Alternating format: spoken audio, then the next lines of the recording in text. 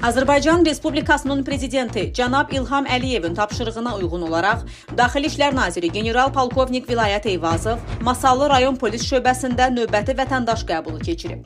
Nazir əvvəlcə Masallı rayonundakı Ümumilli lider Heydər Əliyevin abidəsini ziyarət edərək əziz xatirəsini ehtiramla yad edib. Sonra rayon polis şöbəsinin inzibati binasında Masallı, Yardımlı, Lerik, Astara, Lənkəran şəhər və rayonlarından qəbula gələn 95 vətəndaşın müraciətini dinləyən nazir, onların problemlərinin həlli üçün Nazirliyin aidiyyəti baş idarə və idarə rəislərinə tapşırıqlar verib. Müraciətlərin əksəriyyəti yerindəcə həll edilib.